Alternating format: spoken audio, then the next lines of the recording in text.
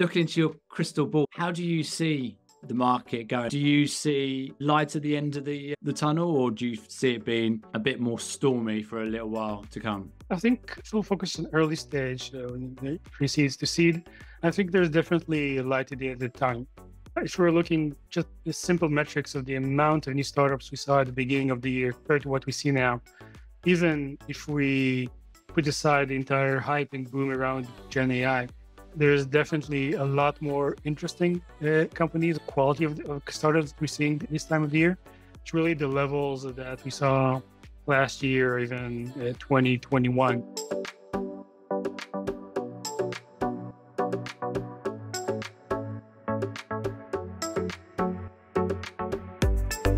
Hello and welcome to the latest episode of Tech Salescraft with uh, me, James Hounslow. Uh, and today I'm delighted that we are bringing another VC uh, to the show to talk about um, today's challenging uh, climate. Uh, and I think we're going to get a lot of really useful information. So uh, we've got Aviad over from Stage One. How are you doing today? Great, James. Thank you. Doing well, and thank you for having me. No worries. I really appreciate you uh, taking time out. Uh, I know how uh, super busy today is now from looking at potential new deals and the efforts that go into that now, but also looking after your current portfolio. It's never been more critical to be talking to and working with the portfolio mm-hmm. to make sure that they're on the on the right paths. But as exactly. a way of getting started, before we get into the information around stage one ventures um, and what you guys do, it'd be great just to have a little bit of background as to who you are. Yeah, definitely. As mentioned, I'm with Stage One Ventures. I'm a principal of the investment team of Stage One. I've been with the fund for over 18 months now, since January last year. Uh, before that, spent most of my career in consulting, uh, in fact, and that's where I got into venture investing. As part of that, my career was spent about a decade in Accenture, the global consultancy, and about five years there as part of Accenture's venture, Accenture Ventures, which is Accenture's corporate VC as I mentioned, that's where I got into the investment space. Awesome. So you've got a lot of experience in looking at and analyzing startups, fair to say. Um, as a way of bringing on board and getting into this conversation, who is Stage One? What do they do? Stage One is quite a veteran fund in the Israeli ecosystem. Been around for just over two, 20 years now. We invest at the intersection of three main pillars First of all, Israeli entrepreneurs, both in Israel and abroad. About maybe 20% of our companies were funded with the founder already uh, abroad. Next one would be uh, enterprise tech. So every solution which is targeting, uh, uh which is B2B, targeting not any B2B client, but mostly mid-market to large enterprises. And lastly, early stage. Early stage is it's a broad term nowadays. It could be as early as seed, but as late as Series A, in fact. So we prefer to call it maybe inception stage. So it's pretty to seed, but it doesn't have to be have any traction necessarily. Could be just a great idea and a great team, and that's interesting enough for us. Love that. So what was it that drew you to uh, to these guys? Because let's face it, Israel's not short of VCs, and somebody with your background and knowledge, particularly coming from the consulting side been used to analyzing this stuff. It's like a perfect person. So, what made you decide on uh, on stage one? First of all, thank you. You're too kind. Uh, initially, I think maybe the character, the most venture investors are not necessarily what you'll find uh, in the states or in the UK. Coming from consulting is not as common as you as be over there. Here, m- many investors mostly come from a technical side. But yeah. people are more like me, which are more focused on the business or from a business background. But definitely, technical investors are more common here because the ecosystem here is more technically focused. Um, specifically, what drew me to stage one, I think, first of all, is the team. We're a small team. The investment team itself is just five people, the entire company, 10 people overall. But I think the strength of the team, both in terms of the experience and even more important than that as, as people, they're just, let's say, the team are just good people and something which is not only important as an employee, but I think it's something which I see a lot of our founders really being attracted to. They know that when you're working with people, people are going to be with you during the, the good times and the bad. So I think all that uh, was a major pull for me for, uh, for stage one.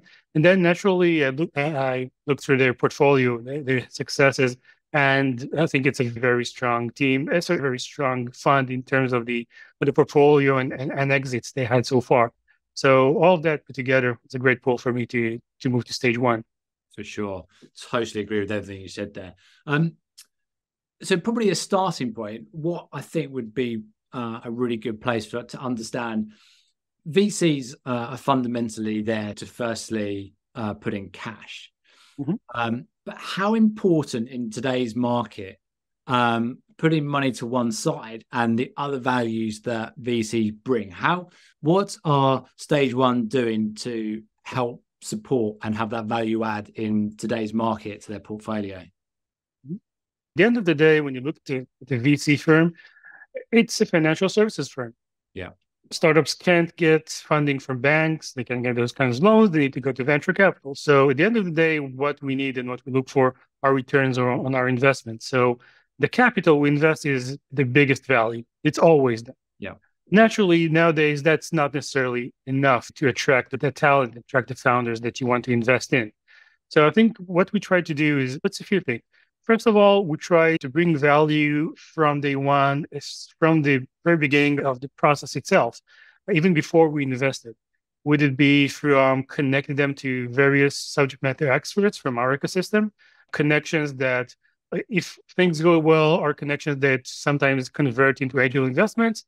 And even if not, it's just the feedback they provide often help the companies, at least I hope so, help the companies to to rethink what they're doing or to to adapt it to the way market really to the solution the market really needs. Because as most startups or many startups pivot it's at a, at a certain stage or at least somewhat pivot. It's important to do this early on as possible. So those connections are, are very important. Uh, secondly uh, after the investment itself we have our own VP of marketing, which is responsible also for all of, of our value creation uh, activities. So she really helps them with connections It'd be to all the uh, solution providers, the credits from AWS or right now from OpenAI, Microsoft, whoever that's relevant. Doing a lot of workshops. We have our masterclass workshop, which is a weekly workshop in different areas from marketing to HR to everything, technology and everything in between for founders to just connect them with uh, relevant stakeholders and give them insights. So we do a lot of value creation in that side. But naturally, I think maybe the most important part, or uh, in terms of value creation, is how, uh, how we work on a daily basis, uh, if need to, on a weekly basis, uh, with our startups. Many times, the startups we invest in our first-time founders could be sometimes they're more experienced, sometimes they're fresh out of the out of the university or the army here in Israel. So naturally, they haven't had that much experience in, in running a company. So we really, really help on that, helping them to to build a strategy, uh, get, understand what it means to run the company in terms of financial financials and everything like that, uh, keeping the metrics, the OKRs in place. That is, I think, is very important for early stage founders, especially first time founders. And beyond that, uh, we naturally also connect with a of potential clients. So that's uh, value as well. But I think uh, that the connection it's is interesting. But at the end of the day, who the, sale itself uh, is up to the, the, the startup or to the founders themselves to make the sale or to convince the client to move forward. Uh, we can make the introduction, but uh, the conversion it's up, it's up to the startup. Love that. I'd like to talk about today and the market that we find ourselves in, which is it's extremely challenging. I think globally from my 20 years of finding great salespeople for tech companies it's never been so hard to sell technology to people. How are you advising and helping your portfolio? Particularly, a lot of them are first time founders that might want to outwork the marketplace. And it's mm-hmm. quite frankly, in most sectors, not something you can outwork. So, what are you advising? How are you supporting these guys? I think it's all about bringing, being well prepared when you actually start facing clients. Yeah. When you invest you mentioned it's very early stage. Usually the mark the, the product's not even there. Yeah. Maybe there's a demo, maybe an MVP, but not much more than that. So I think after a few months, after they're actually ready to start facing the clients, I think what we help them with is mostly understanding the client needs, and coming well prepared to what the client uh, or what would help them understand the client needs, coming well prepared to any kind of any kind of uh, resistance that they will face from the client. These are tough times, not just for startups, but all across the market. So people are not as or not as uh, willing to spend, especially on new and relatively untested solutions. So, so making this, making those relevant adjustments in real time by planning ahead to any type of resistance is very important. And we recommend to our, to our startups to plan that way. I think for later stages, uh, I think right now, one of the ways to, uh, to really expand uh, your potential market or really do more with a lot less it's focusing on partnerships. Mm-hmm. Partnerships are very important in the B2B space. And if you look at many companies which are much more mature, most of their sales or significant part of their sales are done through partners, through channel partners, through consultants, from lots of other resellers, whoever. So a partnership strategy, I think, is very important, especially as the company reaches started to reach scale. Interesting. I love that you mentioned the partnerships part there because it, I think it's a great way to get revenue quite quickly. It's not something that founders automatically think about from what you've seen, what have been the advantages of seeing people working with partners, but also uh, is there any advice that you can give on finding the right partnership? Because if you look at statistics around partnerships, there's a lot more failure than success, but that doesn't mean you don't do it, right? Exactly. So let me start with the later end of the question. I think finding the right partner is not, like you mentioned, it's not easy. It's and it's very important. First of all, you need to understand are you looking for a technology partner, like your AWS, for example, or more of a channel par- partner? If you're looking for more of a channel partner, I think uh, you need to understand what type of services uh, that partner is going to provide. Mm. And that's very related to the type of the product you have.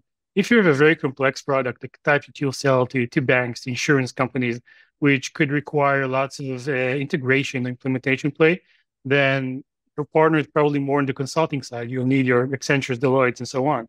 If it's a much more plug and play solution, then a reseller would be re- much more relevant to you. Because when you look at partners, or I think that you should look at partners as a startup as, as another type of client. You're selling basically to the partner in order for them to take it to the to their end client and sell, and that's hence the margin. So you, you really understand what will push their buttons uh, and what will make them take the bet and uh, on you and actually pitch your solution to their own clients. So I think that's very important to, to understand. Secondly, um, you need to look at geography. Some partners are uh, global, some are uh, focused on geography, so you need to focus correctly. Think that those are the two main things. One one more thing that uh, you need to understand is that part, as you mentioned, partnership plays slow, at least early on you need to start to create that snowball that will yeah. need it to roll and, and pick up pace eventually until it has a life of its own and uh, like product market fits you sell without having uh, having to do anything internally so working really hard on those first two or three joint sales with a partner is very important but once you've done that and the uh, collaboration has been uh, uh, successful the partner will usually not always, but usually see the value and start pitching a, a, your solution without you need to push it to push them to it. So my advice in that way is bring the opportunity to the partner. Mm-hmm. Let's say you're looking to sell to to a bank. Let's just say JP Morgan, for example. You're already speaking to the bank. Why not take it to your partner, whoever it is? Could be a reseller, it could be consulting uh, company, whoever. Tell them, hey, I have an opportunity with this client. Let's work on it together even if the partner doesn't contribute that much, still you created a win for them. They're going to want to create a win for you later on. They see the value. So that's why I think it's very important to look at them as a client, which you need to, to bring value to early on. I love that. I, I don't think I could have summed it up much better. I think there's a lot of misunderstanding that you sign a partnership and then you just wait for the deals to to roll through. There is no silver bullet like that. It, it takes time and it takes effort on both sides, and it's definitely a give and take relationship. The um, the more you give, the more you'll get to to take. To move it to now to the challenges of getting funding in today's market. If you're a an, an early stage founder who's looking for their either seed or pre-seed money what should they be or preparing before coming to to see you guys that will allow you an, the easiest way to analyze if it's a company that you'd want to invest in? So, first of all, I think it's very important to pick the right fund. And by right fund, look for a fund that uh, actually invests in your stage. Look for a fund which invests in your geography and the type of solution that you're building. It could be uh, a generalist fund like we are. It could be a more specialized fund like uh, in cybersecurity or in DevOps or whatever. Uh, but you need to pick the right fund. I think that after you do that, look at when the fund was actually raised. Why is it important? When you look at VC at funds, usually uh, once you raise a new fund, you invest over a period of three to four years, and then you need to raise the next one. If the fund is already approaching its, let's say, fourth year, and they haven't raised a new fund yet, it might not be relevant. They might not have money to, to make new investments at the moment. Also, they're probably the, the threshold for them to invest will be higher because the last few investments they need to make. So they will be more picky. So try to find a fund which is relatively in the first two to three years since was raised and in your specific uh, focus area. Now, I think right now, traction is not something which is necessarily a must. Mm-hmm. It helps and it affects the amount you want to raise.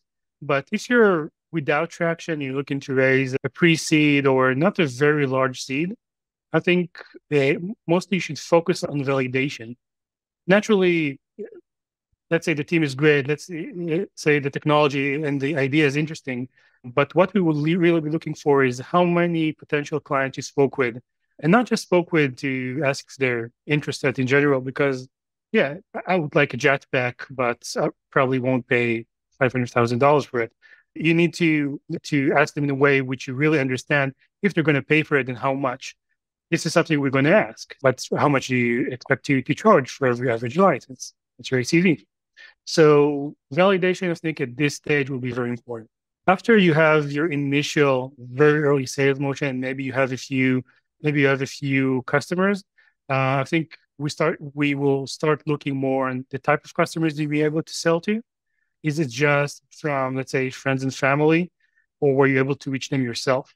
It's very important to know if the uh, team is able to sell. Sometimes it's a very technical team without much uh, go to market experience, so that could be an issue. Uh, in that case, sometimes we'll even ask that the first hire would be more someone on the go to market and sales side, their, their VP sale. Um, but I think once you start to have traction, um, it's very important to understand that point. Um, yeah, those I think the main points. Beyond that, it's all pretty pretty standard. Yes, we definitely come well prepared in the way that you look at, at the market itself. Uh, how do you calculate your TAM? Uh, how do you look at your competition? Uh, competition is always very interesting and very important because it tells us two things. First of all, competition means that there's a market. Yeah. Naturally, you don't want too much competition, but some competition is good actually. But it's also very important to understand the type of competition personally for me, I think competing with a few large incumbents is preferable to, to competing with lots of other startups. Yeah. Because the differentiation is more obvious. One thing that I would advise to, to founders, there's no such thing, there's no competition. Yeah. Uh, or nobody does it like us. Yeah, of course, nobody does it like you because you're building something new. But competition could be everything from another startup to Microsoft Excel. So it's very important to to show that you understand the competition and the market. So that, that's an, an interesting point you put on there. So I talk to founders all day, every day. And if I had a pound for every time one of them said that no one does what we do, I'd be a rich man. Particularly as I can also point to many people who do exactly what you do or in some part of it. What would you say to founders of how important it is to know who your competition is and not to be just there isn't we what we do the best and there's no one else that does it so i think validation calls are very important in that way usually the client will use some other solution or maybe even just an internally developed tool to mitigate the uh, the problem or the pain that you're looking to solve so validation calls will really help you with that. Uh, beyond that, there's definitely a lot of, of materials on, on the internet, uh, lots of research documents. Try to find a friend at the corporate that might have access to, to Gartner or do any other uh, resources. Try to get some uh, some reports for them. You'll always find something. Maybe unless if you're building the next I know wormhole technology, so that's probably new. But beyond that, there's always something out there. So, how do you go about talking to potential new founders?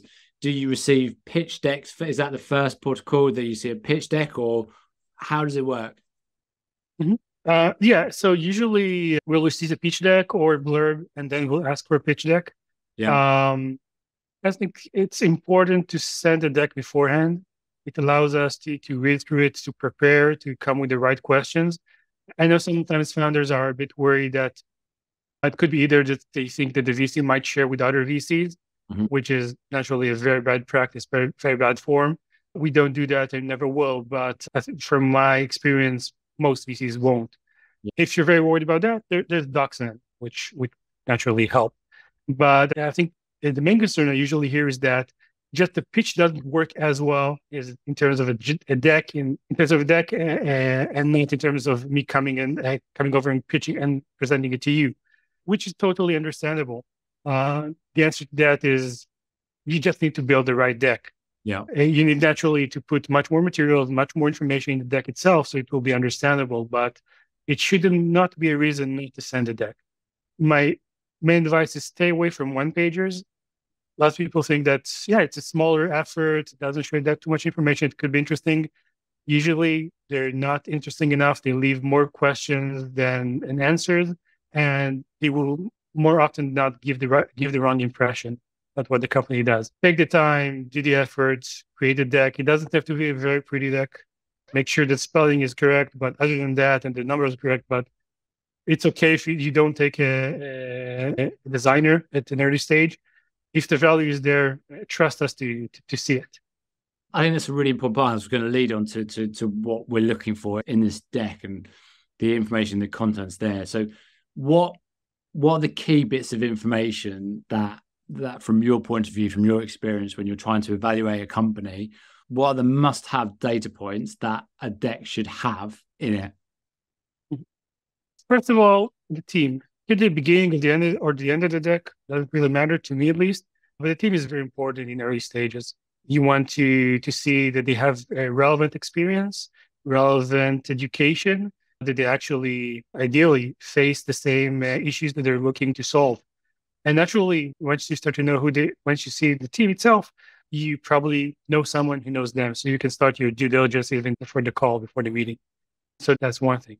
And the second part uh, is really understand really uh, presenting the the pain point and how you're look how you're solving it in a way which is meaningful for the client. Why is that important? Because many times the pain point would be bothersome to the client but not as not in a way which they will actually feel the need to spend on a new solution to solve it so we don't just want to see that you solve the problem but in a way that really helps them at the bottom line in the business does it generate more revenues? Does it mitigate or reduce costs? What exactly is the value? But it has to be there. And lastly, I think the, I'm going to put together the markets and the competition. Market, even more importantly. We're always looking for large markets. A larger market is, is naturally better because it means there's more room for new startups, even if there's competition and it means that it, once the decline, sorry, that the market as it grows more significantly, even if it grows at a slower rate in some smaller market. If you are targeting more of a niche market, then the competition becomes more relevant because smaller market, then probably there won't be that much competition. So we'd like to see that as well. Like it. One of the biggest and probably arguably one of the most important factors when deciding to invest is also one of the hardest challenges to evaluate, and that's the people, right? How do you evaluate founders and the, the team to the best ability to go right? They're they're right for us. It's a few things. First of all, when we meet them, we want to see a bit of chemistry between the, us and the team. It's not a must, but it really helps. The reason is that when we look at investment, it's a very it's a very long relationship when you invest in a startup, you expect to be uh, working with them for the next seven to 10 years as, a, as an early stage uh, uh investor. So we need to, to know that, either to feel that you're going to be able to work well together. Um, not necessarily a must uh, to, uh, at the first meeting, but something we're definitely looking for. Then we will look for uh, look for relevant connections at our ecosystem that know them. Probably work with them in the past, served in the same uh, uh, unit in the military, subordinate, and, and, and so on. So uh, maybe previous investors, if they're uh, still entrepreneurs and so on. So we'll try to get lots of references on that. And, and lastly, during the due diligence itself, we'll ask for them to connect us with references. I think the best references would be not necessarily people who worked for them, but people they worked for, because we are usually looking to understand not just if they can do a great job naturally coding or doing something very specific. Uh, we need to understand what's the potential to grow. And I think when you talk to one of their managers, I think they always, if they're if they're doing their job right, managers should always look at their employees as what is their potential to grow, grow and how can I uh, see them potentially even replacing me one day. So that's an insight that we can only get from managers. Uh, so I think it's a very it's very important to want to have. Before I ask you to look into your crystal ball and tell us what you think the future and, and next year looks like from, from the market standpoint, we've reached that point in the conversation where we where we flip roles and you get the opportunity to uh, ask me that one question you have always wanted to ask a recruiter. So if you have that ready, fire it away. That's good. So something with, me maybe uh, one of my personality traits is that I really hate to fail. I hate to fail. Even sometimes I think I even hate to fail more than I like to, to actually win. So I don't know if it's one of the same, but yeah. So really on that element, when once you make an introduction, once you connect uh, as a recruiter, that's a, a, new CRO to to a founder, which or to a company you're working with, and few months down the line, it doesn't really work out. They hire them, that's really, really work out. So what do you do uh, in order to to make sure or, to make sure that this type of let's say failure doesn't happen in uh, in the future? Yeah.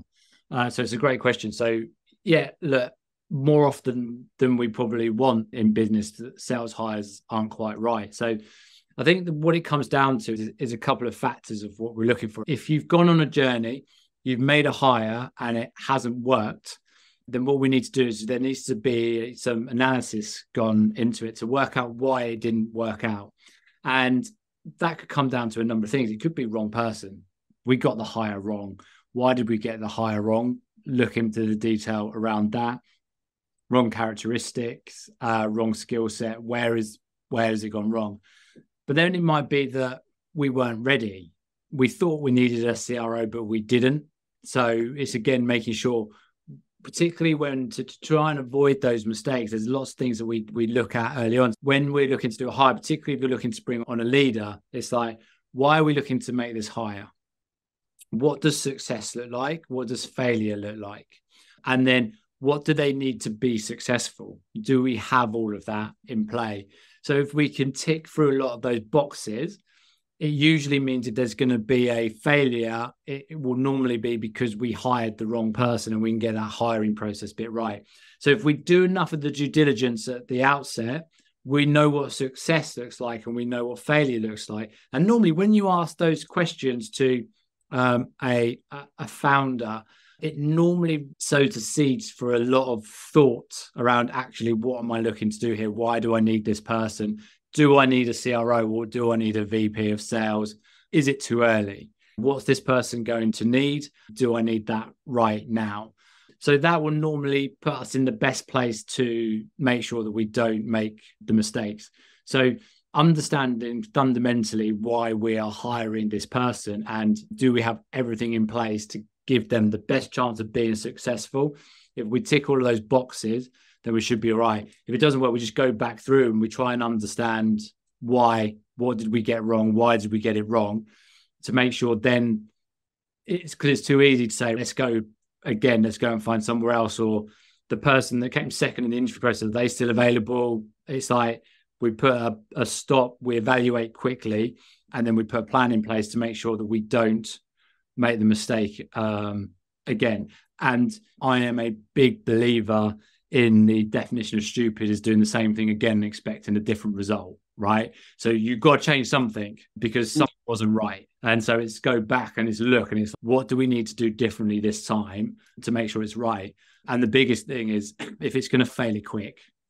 Yeah, that's I'm that's the biggest thing is you can't have someone in play for a long period of time hoping that it's going to work out and it'll change when it's not right we need to change it so i think it's probably covering in, in, to answer your question it's probably asking the right questions to start with before and then being able to go back over and go where did we get it wrong? And then we know uh, have we gone too early? Um, is there a change in process or internal strategy to be able to get it to work correctly? Wrong location. It was like we wanted it to work in Israel maybe, and it's like actually they need to be in the USA. So sometimes that can play a um, a factor into it, or did we just hire the wrong person, which also can be a uh, a big factor in it. No, that's a great answer. Thank you, James. And I really like the, the structure way that you're looking at debriefing what happened and reiterating and improving for next time. Yeah, I think doing reviews is so important and understanding what you did and how you did it is across everything that you're looking to grow and do is it's the it's the learning and uh, and understanding.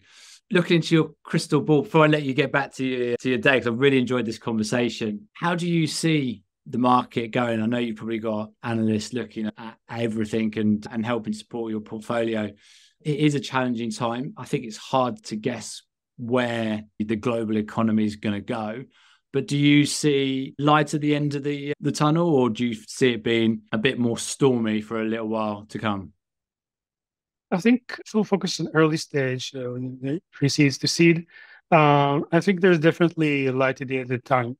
Uh, if we're looking just the simple metrics of the amount of new startups we saw at the beginning of the year compared to, compared to what we see now, uh, even if we put aside the entire hype and boom around Gen AI, there's definitely a lot more interesting uh, companies, or a lot, not more, not just the numbers. I think it's quality of, of startups we're seeing this time of the year.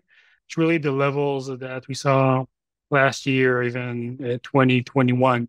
So I think uh, startup uh, startup founders are, it's nothing, adaptable, and they know, and it's something which really is uh, it's a need for them to build a startup and found it after a few relatively maybe cautious months the beginning of the year. Now it's really picking up. When it will actually reach the levels of last year or 2021, I don't think it will in terms of size, round sizes, and valuations. Probably won't go back to the levels of 2020 or 2019. Uh, it will be more of a of a linear trend line from where would have been without the COVID boom. But there's a tunnel for pre-seed and seed. If we're looking at later rounds and Series A, both mostly in B, uh, it's still pretty dark out there. Uh, it's the goal of $1 million ARR to raise your Series A is not that goal anymore. Growth stage startups, uh, sorry, growth stage VCs are looking a lot more on metrics related to just how efficient the company is. So I think the focus right now is not just about growth or even just how big, how much you're selling, but how efficient you are, at least in those stages. Uh, I think there was some research from Carta, I think maybe for a couple of weeks ago, that showed that the valuations in A round are dropped, but not by much. But the amount of investments has dropped significantly. So that means that only the really the cream of the crop are able to raise their Series A at the moment. If you can extend your, your runway for a few more months, try to get to the end of Q1, of Q2 ideally of next year, that will be my advice. As for early stage, I think still raising for two years is, is good enough. Not 18 months, but try to make sure that your fund lasts for two years. It's probably still good enough. But I would be much more with, uh, let's say, you much more with your hand on the pulse of what's going on in the market and always have that plan uh, in the drawer to reduce burn at the moment's notice if you need to, because the market is still very unpredictable how important you mentioned on that Series A round? how important is the 1 million ARR now? So you mentioned you're looking at other things. Should businesses still be looking to get to the 1 million ARR? Because it can be a challenge now. So should they delay or should they still try and go in there if they're at, say, 500, 750 ARR? Yes, if they're already approaching the 500, 750, yes, definitely should try to get to the 1 million mark.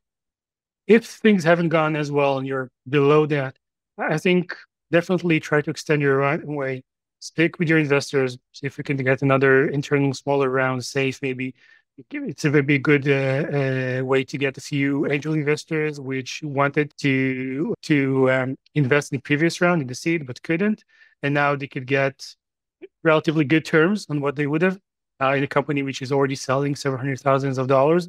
So try to extend that runway, and also I think maybe do some initial calls with VCs that are that you would want to raise from uh, in those rounds, trying to understand what they're exactly looking for in this market. It always changes, and if things really improve toward beginning of next year or, or mid of next year, maybe one million would be good enough. But I think definitely you should look at all options at the moment. And if you're not getting very close to AR uh, to the one million, you don't see that reaching that mark within the next quarter or two definitely try to extend your runway. Very sound advice, uh, indeed. Um, before I let you get back to your day job, uh, I know there'll be uh, a number of people waiting to talk to you. If you had a room full of entrepreneurs uh, who were about to embark on their their project and were about to start, what would be the one bit of advice that you would give to them for day one? Unfortunately, it's going to be harder than they think it is. Um, and I, am not an entrepreneur. I never, I never started a company, and probably I never will. So maybe it's maybe it's a bit of a chutzpah from my perspective to to say to give this type of advice to, to entrepreneurs. But one thing that is common to all of our entrepreneurs is that it's always gets difficult. It's always more difficult than you initially expected to. Try to prepare for that, and I think try to prepare yourself to the hard decisions that you're going to need to make I think one of the things I wish I could do for every new first time entrepreneur, which maybe haven't worked in a more of a corporate America uh, type of company, is for them to work in type of, those type of companies for like even a few months. Yeah. Uh, because one of the things you understand is that what they really know how to do well is to make those hard decisions. And with all the talks, and it's a family, it's not, it's not. It's all about the bottom line. And as a founder, as a CEO, or, or as a C level, you need to be able to make those hard decisions. And it's very hard sometimes because you're very you're it's not your baby. So you don't want to let people go. You don't want to give up on that next feature on that next campaign because you always see the end of the light and tunnels. You have to be op- eternally optimistic to be a founder but it's very easy to get lost in that looking for that thing that will actually pull you out of the problems you're currently in and there will all be a rough spot at some time so you need to realize that you have to make those hard decisions and just make them. Um, it's not easy, but that's why you're leading a company. I think that, that is really sound advice. The it's never as easy as you think, and it's hard. It's a lot of hours. You don't get a lot of thanks for what you're doing, and also one of the biggest challenges founders face is those hard to make decisions. And they shy away from them. They shy away from them for too long. And it's there is particularly when it becomes from staff and wanting to knowing that the right thing is to move people on it's understanding that it's better for both people. It's better for you it's better for the company and it's better for that individual. And a lot of the time i speak to people i mention that once in your head you think that person should go they're effectively at the departure gate at the airport how often do people not get on that plane when they're at the departure gate. So it's eventually they're getting on that plane and they're taking off. So if they're at the departure gate, get them on the plane. It's best for everybody to do it sooner rather than later. And I, I, really appreciate your time. Some really super insightful points you've done there. It's been great talking to you. I'll let you get back to your day now. Thank you, Jace. It's a pleasure being on your podcast.